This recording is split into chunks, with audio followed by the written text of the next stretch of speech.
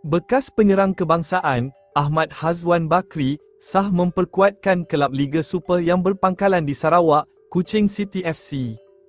Perpindahan pemain berusia 33 tahun itu disahkan pengurusan The Cats menerusi satu pengumuman di platform media sosial rasmi pasukan itu.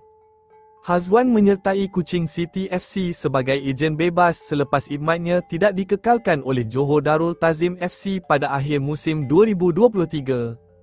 Sebelum ini, bekas penyerang Selangor FC itu terpaksa berehat lama akibat kecederaan ligamen krusiat anterior ACL Hazwan mengalami kecederaan itu dalam aksi terakhir Liga Super musim 2023 antara JBT dan Penang FC. Sejak itu, beliau memberi fokus kepada pemulihan kecederaannya terlebih dahulu sebelum memikirkan tentang usaha mencari kelab baru.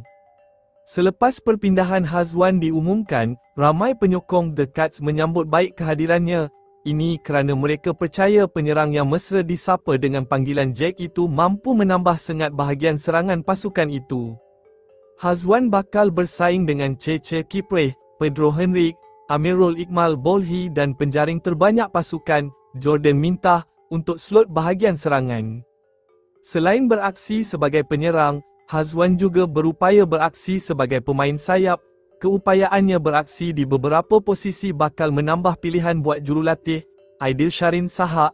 Beliau hadir dengan pengalaman bukan saja sebagai pemenang piala bersama Selangor FC dan JDT, Hazwan juga pernah mewakili skuad kebangsaan dengan merekodkan 32 penampilan dan 7 gol.